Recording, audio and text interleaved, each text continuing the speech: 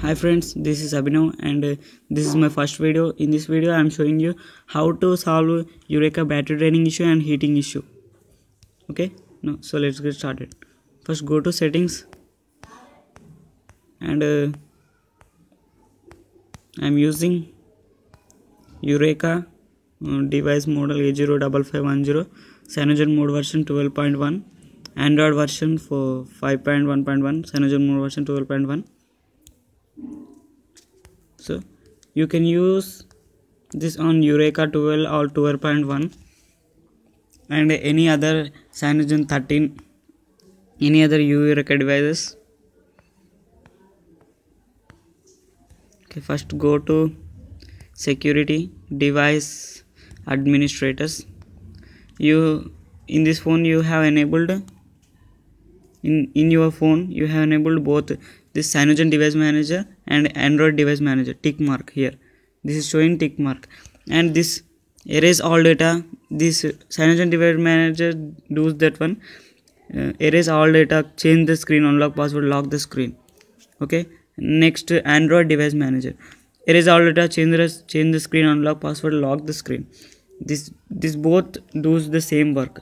You have this system one cyanogen device manager and uh, this is also system one but uh, both do does the same work.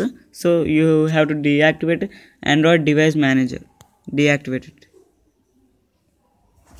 And it saves saves a lot of battery. After doing this one uh, my battery saved a lot. You can see only three three are draining my ba battery. Only this one 2% this one 1% and this one 1% next. Uh, next step is that uh, to do the next step you have to your phone have to be rooted.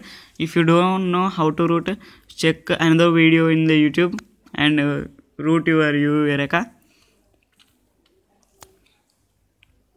To use uh, download these apps greenify and no frill cpu control apps from the play store.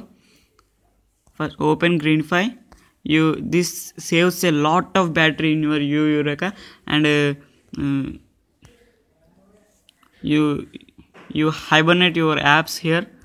And uh, go to settings working mode root wake up tracking and enable wake up tracking advanced wake up and cut off enhanced wake up tracker wake up and cut off. Alternative screen off mode quick action notification don't remove notifications. Enable all the all of these features. And this saves a lot of battery in your Yureka. And another app is that one no frill cpu control. Okay? Um, maximum clock frequency to 1.114 gigahertz and five, um, minimum clock frequency to 533 megahertz and governor on demand scheduler noop and apply on boot apply. Success. Here you can show one pop-up success. And once reboot your phone and uh, this saves a lot of battery in your Yureka. Uh, go to settings and uh, search device administ go to security device administrators and enable greenify automator. Activate greenify auto automator.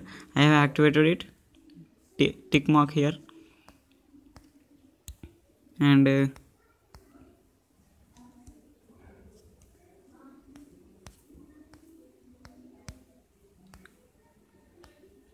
security. Go to apps with usage usage access.